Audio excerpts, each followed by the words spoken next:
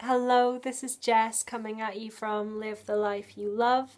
Um, today's video is all about why I set up Live the Life You Love, um, what it means to me, and what I would really like it to mean to you.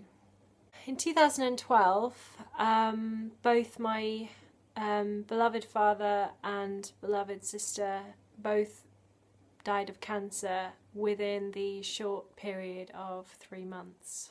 Uh, I would say it was a, period of, of great enlightenment for me, um, in which I realised some fundamental fundamental truths about um, life and about our existence here on, on this planet. And I really want to share that with you right now. The first one is really just about how fleeting life is. I know it's a bit of a cliche and you've heard it many times before, but the truth of the matter is that we don't know when our time will be up. We don't have that date in the diary that we can plan for. Um, it could be tomorrow, it could be next week, it could be in 10 years' time. You, you ain't got forever, honey. So it's probably best to start thinking about the kind of life you want right now uh, and start living it like pretty sharpish. The second one is is quite lovely really. Life is meant to be extremely joyful and abundant. It's supposed to be a great experience to be alive on this planet. Your life can actually be pretty amazing if, if, you, if you choose to make it that way. And I think a lot of people on this planet aren't actually living very happy lives. What I want to say to you right now uh, and I want you to get right now is that this life is meant to be extremely joyful. It's supposed to be fantastically fun, happy, uh, fulfilling, abundant experience for you. The third one is quite beautiful. Um, it is that each and every one of us is born with a unique tapestry of creative talents and abilities that are particular only to us. They are very special only to us, and we are the only one that is like us in this life. And the more we come to explore and understand and acknowledge what our unique talents and abilities are, the more we we grow in tune with who we really are and what we were really born to do in this lifetime. And in understanding this, we can actually live a much more authentic life. We can live a more authentic us, actually. And I believe that we find that and tune into that by connecting with our joy, by connecting with our heart. The fifth point is uh, is quite simply that we absolutely deserve a life that we completely love, and absolutely nothing less. So we we deserve all of our joy, we deserve all of our abundance, we deserve all of our happiness, we deserve all the good you can possibly think of in this lifetime. We deserve all of it. It is, in fact, our birthright.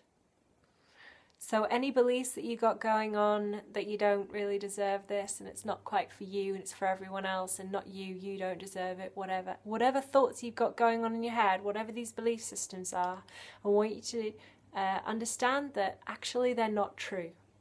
That you do deserve all of your own good. The fifth point that I realised is that life is in fact very precious. It's a very precious gift that we've been given in the vast eternity of our souls, we come to this earth, to this physical plane, and manifest physically in this body very, very short amount of time. And, and so we can really consider that quite a gift. And, and I suppose what I really want to ask you right now is what are you going to do with this incredibly precious gift that you've got? Are you going to squander it? Are you going to waste it? Or are you going to do something with it? Do something that means something to you with this precious gift that you have. So that's my that's my question for you. I suppose I'm asking this question to you right now because what I don't want is for you to get to the end of your life and to look back and think, oh, crumbs, I can't believe I didn't actually get out there and do this more and I didn't actually, you know, love myself just exactly as I was in my lifetime and why I wasted time with these conflicts and why I didn't just do the job I always wanted to do and you know why I didn't believe in my own financial abundance and, and whatever it is please don't look back at your life one day and regret because you have a choice right now to actually have the life that you really really want you have now, you have the present moment. So you, that is the point of power. And I just want to finish on saying something that's really, really important to me that you know, and that is just how special you are. You are infinitely, infinitely special. You are infinitely precious, and you are infinitely lovable exactly as you are. You have a fantastic exciting, beautiful, wonderful gift to give to this world. And it is your joy. And you need to get doing that now, please. And I just want to tell you that I also love you. I love you very, very much. And it is my privilege to be connecting with you right now. And I look forward to connecting with you again in the future.